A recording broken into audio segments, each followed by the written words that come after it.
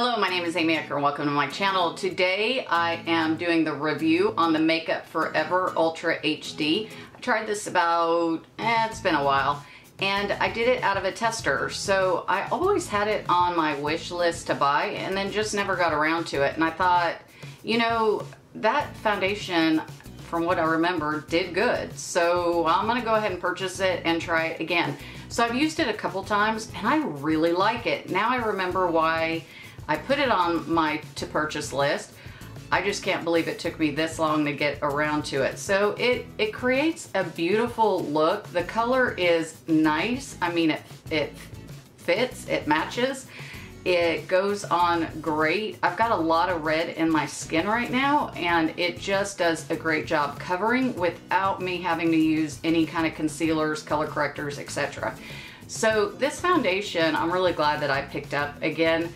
I, I, I just can't figure out why I didn't buy this a long time ago. So this is kind of almost my everyday go-to foundation just because it does an amazing job. If you've used this, I'd like to hear your comments, thoughts, questions. Give me some answers. I don't know. I don't know. Give me something.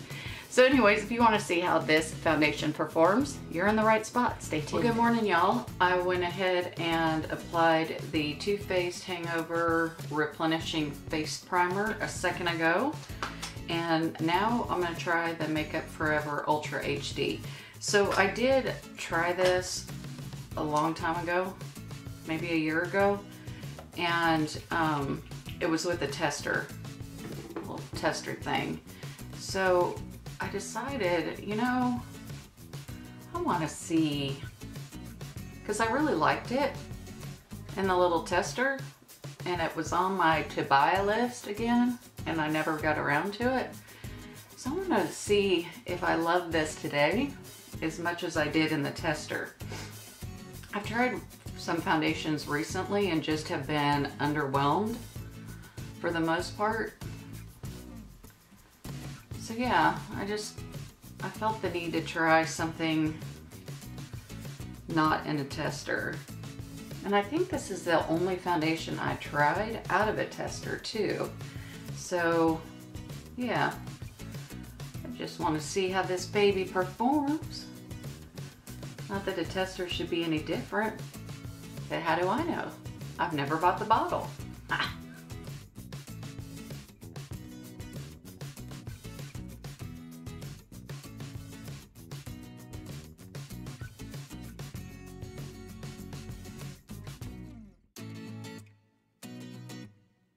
Okay. So this says that it's made Makeup Forever um, in Paris, France. And that's all I see basically on that. And I'm trying to see what color I got. Y245 is at the bottom. So I'm gonna go ahead and finish powdering and doing everything on my face like I normally do. And then at the end of the day, I'm gonna come back around and say, how did this look? How did it look by end of day? Because I know someone wants to know. really, I just want to know. Um, I've decided to clean out my foundations and figure out which ones I really like for my skin and which ones, eh, clear some of those out. And from now on, if they don't make the yay stack, then I'm just gonna go ahead and get rid of them. I don't know why I've kept them, um, other than, well, not other than, it just is taking up a lot of space and yeah, I I need I need space. Okay, I'm setting this with the Studio Studio Makeup powder. And then I will set this with the Hangover 3-in-1 well, it's a replenishing primer and setting spray coconut water. It does smell really good. I will give it that. So we'll set this baby in its spot. Now the only thing I don't like about this primer spray is the when you spray it, it's got a very narrow range where Skindinavia has a really wide range when it sprays. So I feel like I have to use more with the Too Faced since I've got a very narrow spot that it can spray. But you know what? It smells really good. It smells really good. I mean, if you like coconut, it smells really good. Okay, so I'm gonna finish the rest of my face and here we go. Okay, it's end of day and let's see how this Makeup Forever HD did since we are revisiting it. And dun dun dun, here we go. Ooh, we're so close and personal.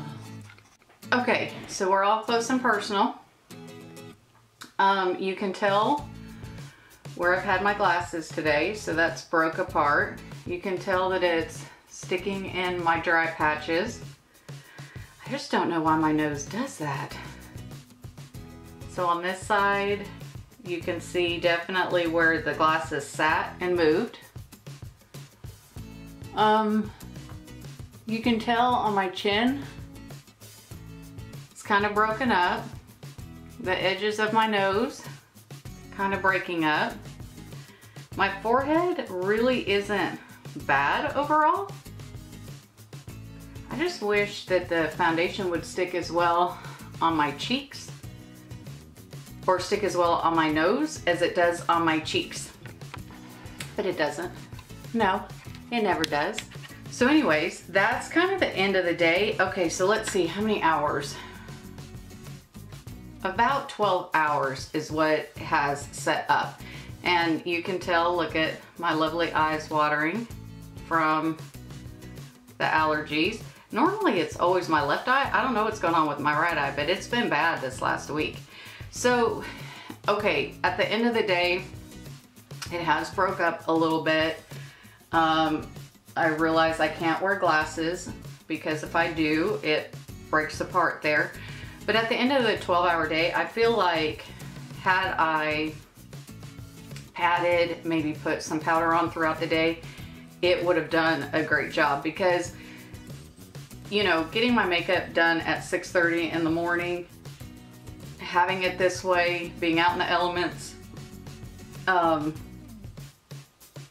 it really hasn't been bad for 12 hours. So I feel like if I would have taken care of it better during the workday, padding, maybe, you know, powdering, etc., um, it would still look amazing because it doesn't, it doesn't look bad for the end of 12 hours. So what are your thoughts? You got close and personal with me. Am I just in a good mood? Do I just really like this foundation overall?